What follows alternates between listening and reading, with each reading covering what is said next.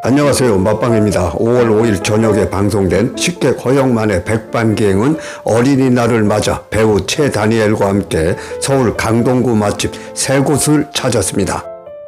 식객과 배우 최 다니엘이 찾은 두 번째 강동 맛집은 서울 강동구 천호동 냉면 골목에서 열무냉면으로 유명한 36년 전통의 시장냉면 송월냉면을 소개합니다. 이 집은 한적한 시골 깊은 곳에 있을 법한 아주 오래된 허름한 노포 가게인데요. 천호역 5번 출구에서 800여 미터 떨어진 천호동 냉면 골목에 있습니다. 당초 송월 냉면은 재건축이 될 줄 알고 건물도 지어놨는데 안 홀리게 되어 지금의 자리에서 계속 영업을 하고 있다고 합니다. 식사 시간이 되면 줄 서서 기다리는 손님들로 북새통을 이루는 곳인데요. 사람이 많아도 회전율이 빨라서 줄을 서 있어도 금방 들어간다고 합니다. 냉면 가격은 7,000원으로 굉장히 착한데요. 시원한 옥수수차가 준비되어 있고 모든 게 셀프로 이루어집니다. 식객 일행은 열무냉면을 주문했는데 열무냉면 외에 비빔냉면, 물냉면도 모두 7,000원입니다. 송월냉면은 평양냉면과 함흥냉면 중간 정도의 냉면이라고 보면 되는데요. 손님 취향대로 주문할 때 매운맛, 단맛, 신맛 조절이 가능하다고 합니다.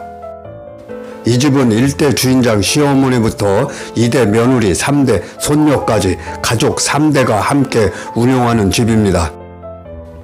열무 냉면은 사골 육수를 사용해서 국물 색깔이 하얀한 게 특이합니다. 사골 육수와 동치미 육수를 배합해서 육수로 사용하는데요. 사골의 고소함과 동치미의 시원함과 달콤함이 찰떡궁합이라고 합니다. 고기 육수처럼 묵직하고 겉돌지 않는 육수의 풍미입니다.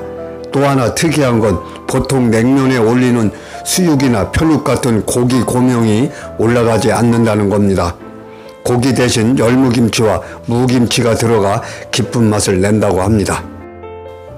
이틀에 한 번씩 40단씩 담근다는 열무김치는 아삭아삭한 식감으로 담백하고 깔끔해서 열무냉면의 매력을 줍니다.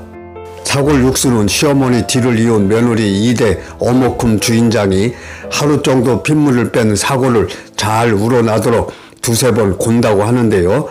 처음에는 7, 8시간, 그 후에는 5, 6시간을 우려내면서 육수의 농도를 맞춘다고 합니다. 식사 시간이 지나도 줄 서서 기다리는 손님들의 행렬은 계속되는데요. 냉면 맛집엔 비수기가 없다는 말이 맞는 것 같습니다. 사골 육수만큼 중요한 또 다른 동치미 국물도 여름 기준으로 이틀에 한 번씩 담가서 새콤달콤한 맛으로 천연 양념 역할을 한다고 합니다. 이 집은 1대 주인장이 36년을 운영하고 2대 주인장도 벌써 27년 업력이 됐다고 합니다. 식객 허영만의 백반기행 배우 최 다니엘과 함께 서울 강동구 천호동 시장냉면 7천원 착한 가격의 열무냉면으로 유명한 송월냉면을 소개했습니다.